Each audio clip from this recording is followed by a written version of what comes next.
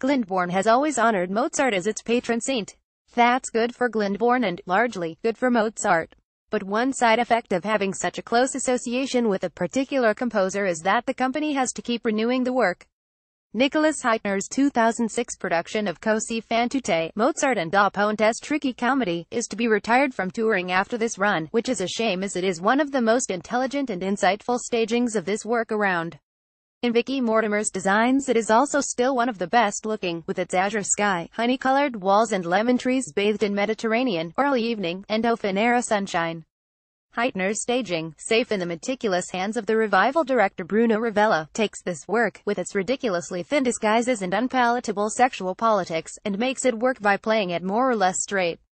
The ironies in Da Ponte's text don't register any less strongly for this, and if anything its cruelty is more apparent than ever.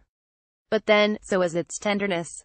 Bogdan Volkov as Ferrando, Kelly as Dorabella, Kirsten MacKinnon as Fiordiligi and Kutyukhin as Guglielmo photographed Tristram Kenton for The Guardian that's also thanks to the energized orchestral playing, and to detailed performances from each of the six-strong cast. Jose Fardilha's Don Alfonso sets things in motion.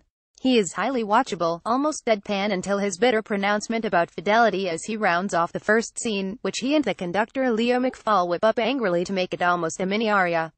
What has made him this way There might also be an opera to be written about the backstory of Anna Queenten's Despina, a maid seemingly bent on world domination she is sung with poise and point, though when in disguise she overdoes the funny voices a bit.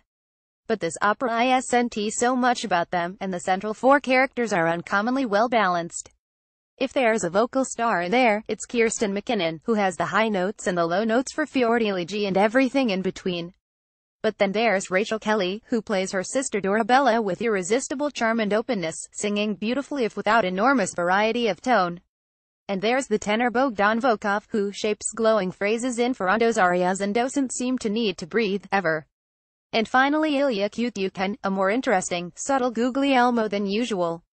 If this is indeed the last chance to catch this production, it will have been given a good send-off. In Rep at Glyndebourne, Lewes, until the 26th of October. Box office 01273815000. Then touring until the 30th of November.